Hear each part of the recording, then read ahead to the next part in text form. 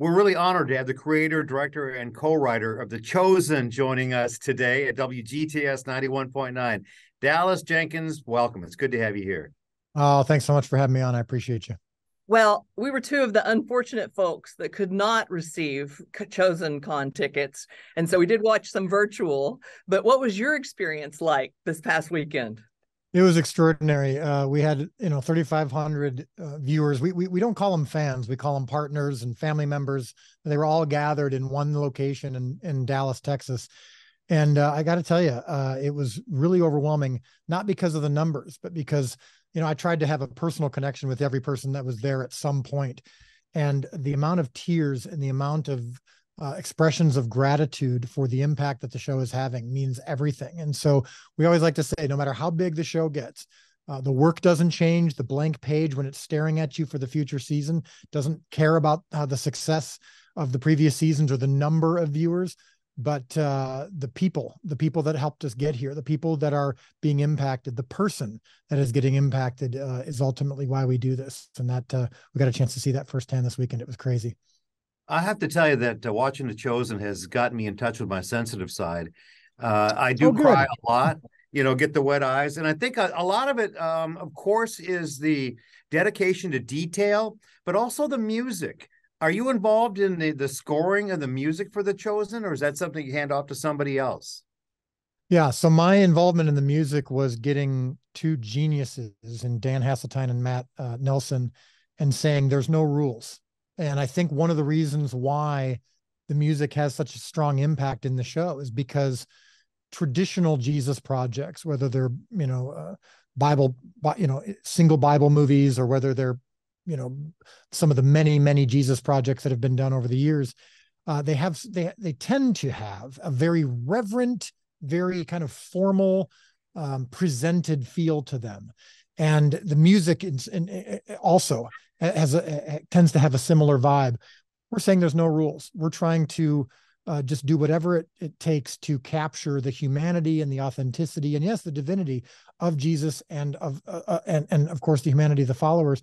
We want you to feel um, like you're there, and that doesn't always mean just using you know like first century formal sounding music. Uh, we we we we're playful, we're disruptive, uh, we're intimate, um, and yes, sometimes serious and dramatic. But um, I think having those two guys has been one of the secret sauces of the show because they that like you said, the, the music is is brilliant. Another secret sauce is the music that's contained in the theater productions. And so I have to point out that it was Brandon Lake's gratitude at first for us watching that in the theater and then seeing the in between. It's like each time you have a different surprise. And so that's why I always recommend that people go to the theater. And now you have an even bigger experience.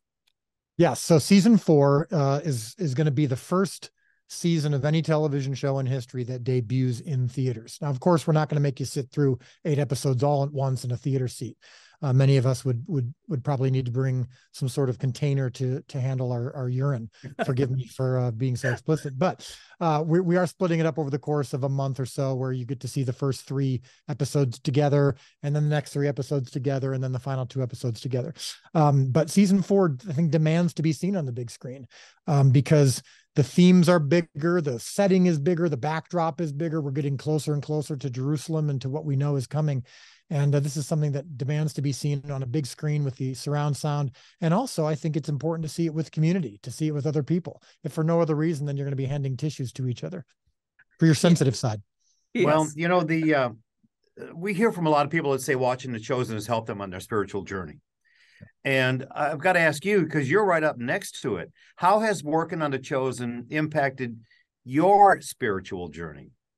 Yeah, when you're tasked with portraying Jesus to the world in this way, it's very important to know him and to know him even better maybe than you ever have and and that's what I've been able to do over these past few years and the thing that I've noticed more than anything else and that has impacted me is that Jesus is an intimate God. We oftentimes think of him as this great historical figure and we think of him as a you know as a king and we think of him as a as a as a god of the masses. And he was that and he did speak to thousands of people.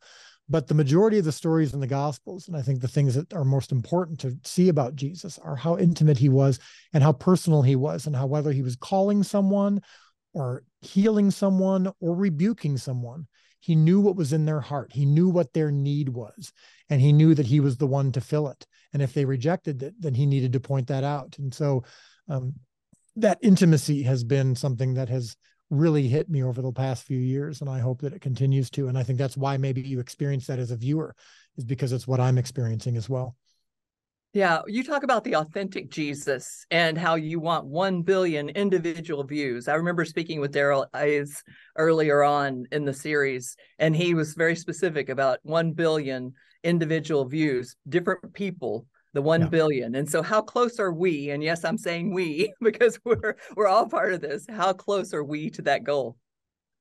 Well, I want to I want to make sure I clarify something. Yes, we've said we want you know a billion people to experience the authentic Jesus, and now our partners at the Come and See Foundation, who are helping get the show around the world into every corner and translating into 600 languages, and making sure that we're reaching places that normal streaming platforms could never reach. They'll say uh, the first billion. Uh, you know, we want to show the authentic Jesus to the first billion because there's going to be more. But ultimately, um, I think at this point, you know, I think we're approaching that goal. I don't know exactly because I'm trying not to focus when I'm writing, when I'm directing. I can't be focused on the numbers. I have to be focused on making sure that I accurately capture the character and intentions of Jesus in the Gospels. If I start thinking too much, and I'm not trying to to skirt your question, but if I start thinking about the number of viewers or trying to avoid criticism or gain praise as I do this, I will be crippled. So my job is to focus on uh, the blank page and making sure that it's filled with something that's going to impact the one.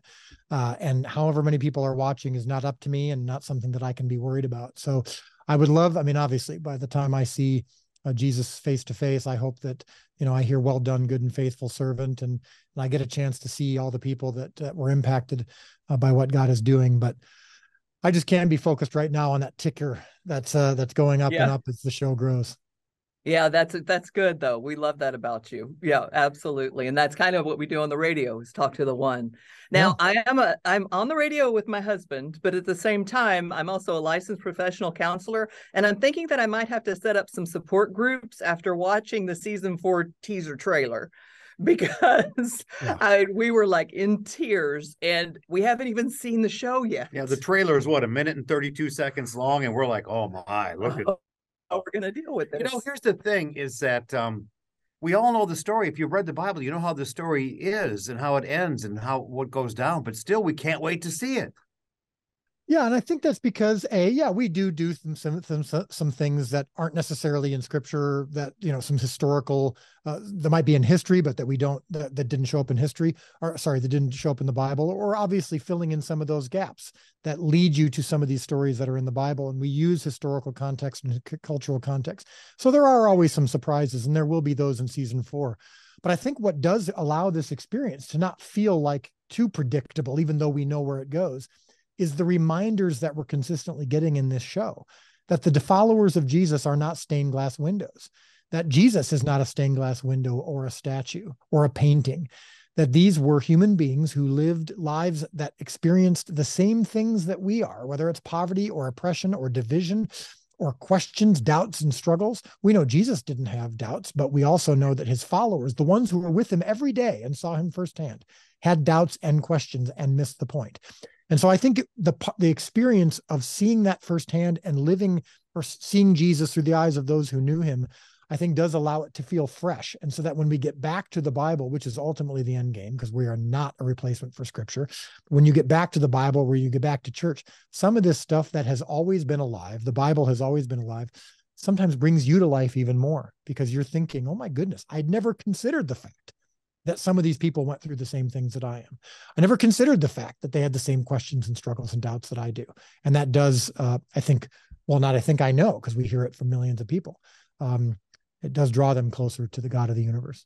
Yeah, talk about one of those changed lives because that's one of my favorite parts of being part of the Chosen Insiders Facebook group and also some of the fan pages that are out there is the people that actually tell the story of how their lives were changed by watching The Chosen. Yeah, I mean, uh, sometimes people say, "How many people do you think have you know come to Christ because of the show?" And I, am like, "Oh, we we we've lost count, you know, a long time ago." Um, but the the stories that I even experienced this weekend, you know, it happened multiple times, uh, uh, dozens. Someone walks up to me in a meet and greet line, and and you know the the intention is we're just going to get a quick picture and keep moving because there's thousands of people, and suddenly we'll just stop because we know that some person needs to share something and needs to be heard and it's, they just immediately start crying. And and and uh, there are people who've said um, i've never i don't feel i haven't felt seen in decades or i had church hurt or i didn't know who god was and now i do. And there was one story real quick I'll, I'll share that comes to mind from brazil where i'm in another country and she wrote down in portuguese her story and shared it to me on google translate on her phone because she doesn't speak english.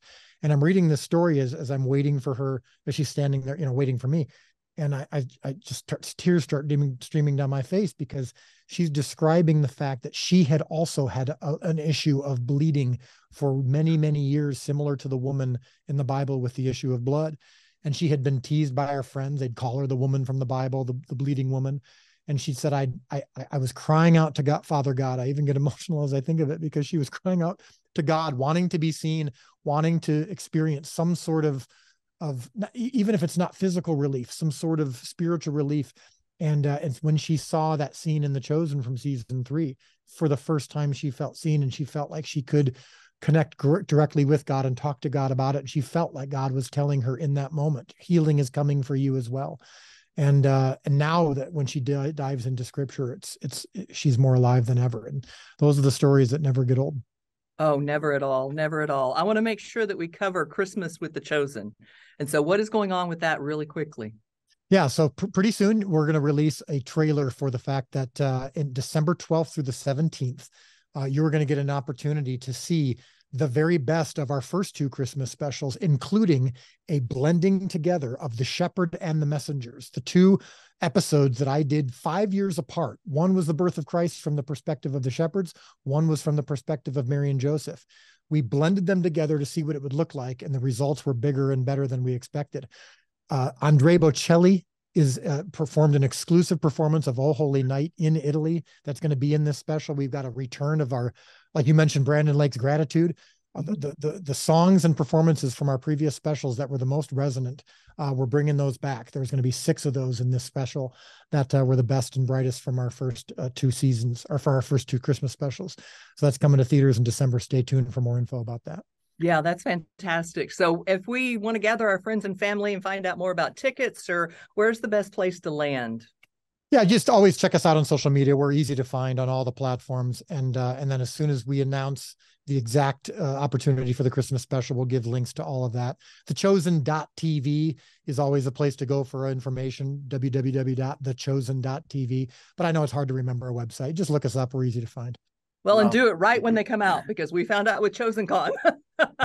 yeah, yeah, yeah. yeah. Right away. Go quickly. Yeah, well, things sell great, out very quickly. So yes, sure with great attention. anticipation, we look forward to uh, season four of The Chosen. We're speaking with creator, director, and co-writer of The Chosen, Dallas Jenkins. Thank you, and God bless you. Keep doing what you're doing. Thank you so much. I'll talk to you soon. Thank you.